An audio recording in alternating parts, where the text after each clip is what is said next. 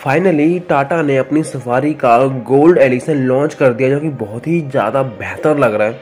क्योंकि सफारी के अंदर जहाँ जहाँ पहले क्रोम लगा हुआ था, वहाँ पर अब सफारी में गोल्ड का काम कर दिया गया है। चाहे वो रियर में हो साइड में हो, या फिर इंटीरियर में हो, हर तरफ़ आपको गोल्ड की फिनिश देखने को मिल सकती है। जैसा कि आप सब स्क्रीन पर देख रहे हैं। एक्सयू सेवन डब्लो के अंदर आपको वायरलेस चार्जिंग नहीं मिलती, लेकिन टाटा सफारी के अंदर आपको वायरलेस चार्जिंग भी मिलती है। और एक्स यू सेवन डब्लो के अंदर आपको वेंटिलेटेड सीट्स नहीं मिलती, लेकिन टाटा ने अपनी सफारी के अंदर वेंटिलेटेड सीट्स ऑफ़र कर दिए। लेकिन ये वेंटिलेटेड सीट सिर्फ़ फ्रंट में ही नहीं, बल्कि रियर में भी आपको वेंटिलेटेड सीट्स मिल जाती हैं। और इस सेगमेंट में केवल हुंडई अल्कजार के अंदर ही आपको वेंटिलेटेड सीट्स आती थी, लेकिन वो फ्रंट में होती थी, ना कि रियर में। लेकिन टाटा ने अपनी सफारी के अंदर फ्रंट में और रियर में दोनों में ही वेंटिलेटेड सीट्स दे दी हैं। और जिससे कि सफारी का प्राइस एक्स्ट्रा हो, बढ़ गया है, काफ़ी ज़्यादा बढ़ चुका है सफारी का जो प्राइस है। और न्यू सफारी के अंदर आपको एयर प्योरीफायर मिल जाएगा, जो कि आपको एक्स यू सेवन डब्लो में नहीं आता। और अगर इन दोनों गाड़ियों के ग्राउंड क्लियरेंस की बात करें तो सफारी के अंदर आपको 205 मिलीमीटर की ग्राउंड क्लियरेंस मिल जाती है और एक्स यू सेवन डब्लो के अंदर आपको 160 मिलीमीटर की ग्राउंड क्लियरेंस मिल जाती है। लेकिन सफारी की लुक्स ज़्यादा बेहतर लगती है, क्योंकि वो थोड़ी ऊँची है। एक्स यू सेवन डब्ल्यू के अंदर आपको 60 लीटर की फ्यूल टैंक कैपेसिटी मिल जाती है और सफारी के अंदर आपको 50 लीटर की फ्यूल टैंक कैपेसिटी मिल जाती है। और कहीं ना कहीं सफारी के अंदर बहुत सारे फीचर्स अभी भी मिसिंग है, जैसे कि 360 डिग्री कैमरा और ऑल व्हील ड्राइव का ऑप्शन सफारी में अभी भी नहीं आता। लेकिन एक्स यू सेवन डब्ल्यू के अंदर आपको ऑल व्हील ड्राइव का ऑप्शन भी मिल जाता है और 360 डिग्री कैमरा भी आपको एक्स यू सेवन डब्ल्यू के अंदर मिल जाता है। और इन दोनों ही गाड़ियों के अंदर आपको 18 इंच के अलॉय भी मिल जाते हैं।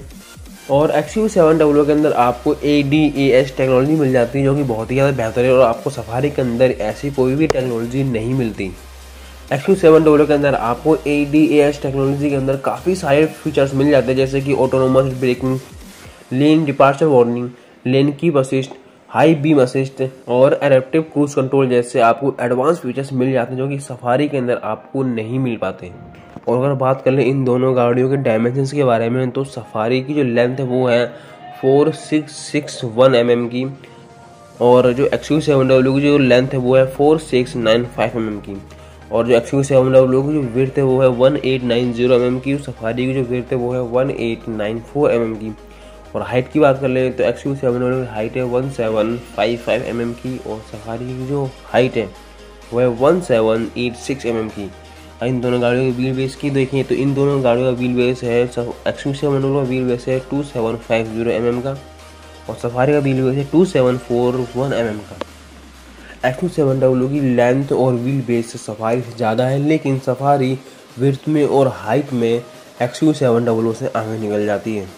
और ये दोनों ही गाड़ियाँ काफ़ी ज़्यादा बेहतर लगती है, लेकिन पर्सनली मुझे टाटा सफारी ज़्यादा बोल्ड और मस्कुलर लगती है, क्योंकि ये थोड़ी ऊँची है और काफ़ी ज़्यादा रफ एंड टफ लगती है। एक्चुअली सेवन डबल भी काफ़ी ज़्यादा बेहतर है। इसकी जो लाइट्स हैं, वो बहुत ही ज़्यादा कूल लगती हैं।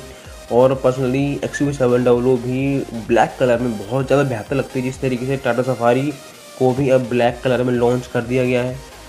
और अब बात कर लें इंजन स्पेसिफिकेशन के बारे में तो टाटा सफारी के अंदर आपको टू लीटर का क्रायोटेक डीजल इंजन मिल जाता है, जो प्रोड्यूस करता है वन सेवेंटी बी की पावर और थ्री फिफ्टी एन का टॉर्क वहीं दूसरी तरफ़ देखें तो एक्स सेवन डब्ल्यू के अंदर आपको डीजल और पेट्रोल दोनों ही इंजन ऑप्शन आपको मिल जाते हैं।